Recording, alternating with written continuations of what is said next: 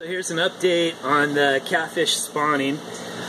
Uh, you look really closely here, you can see that they indeed laid eggs, and that's the female in the frame right there. And she's fanning the eggs. Uh, both parents will participate in fanning the eggs. The, the male will work harder at guarding the eggs than the female, but both will work at fanning the eggs there to make sure that they're oxygenated, and that's the key to hatching them.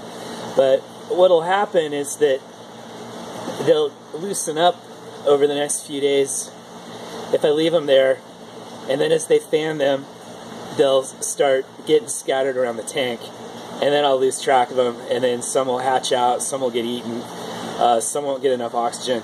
So what I'm going to do here is I'm just going to leave those there for a couple of days, let them ripen a bit, and they'll loosen up. Right now they're going to be glued down pretty good to the bed there. Uh, if you remember in my last video, they'd swept out a redd, the male had swept out a redd in the, in the back right corner of the tank, and apparently the female wasn't too keen to that spot. So um, they rearranged the tank again, they moved their tubes around, and they decided to lay their eggs right there, which is great because it gives us a nice little show and we could check it out and really get to see up close how brown bullhead catfish spawn.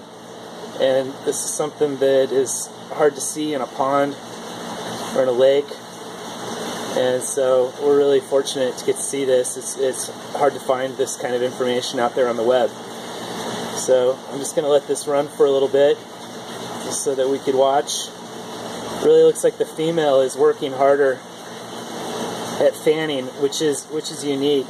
Uh, this is the fourth time that this pair has spawned for me, and initially the male would do all the fanning and guarding of the redd, and and now they're more of a team now and and work together on this, uh, which is really good because the the male, you can see he's just kind of going back and forth and he's keeping watch over the redd